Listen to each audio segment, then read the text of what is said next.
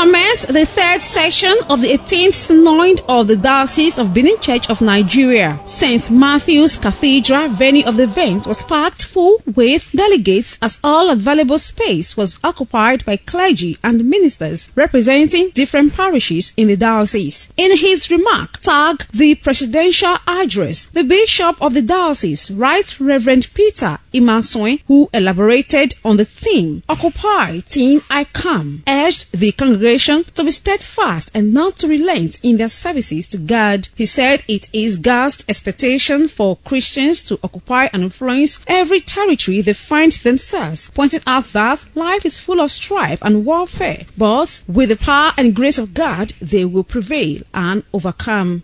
The Lord of our life is saying to us, occupy till I come. That is, put out this farm, empty, employ this sacred opportunity now within your reach. Turn it to good account. The event also featured the launching of the presidential address by some delegates at the event. Some delegates and participants comment on the essence of the 2018 Synod.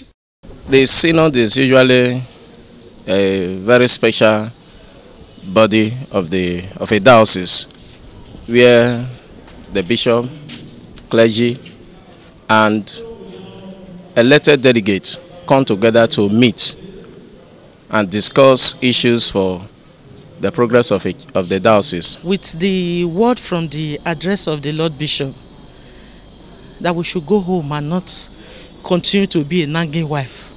We should, we should be a good wife like that virtuous woman who was able to win her husband to Christ. The uniqueness comes from the method of administration from the Lord Bishop is wonderful.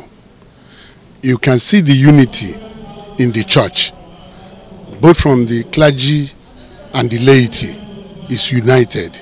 We are pursuing one goal, and it is the the administrative uh, the administrative method of the Lord Bishop that makes things to be working wonderfully well. High points of the event include the cutting of the 27th marriage anniversary cake of the bishop and a special song ministration by the priest wives at the Benin Diocese.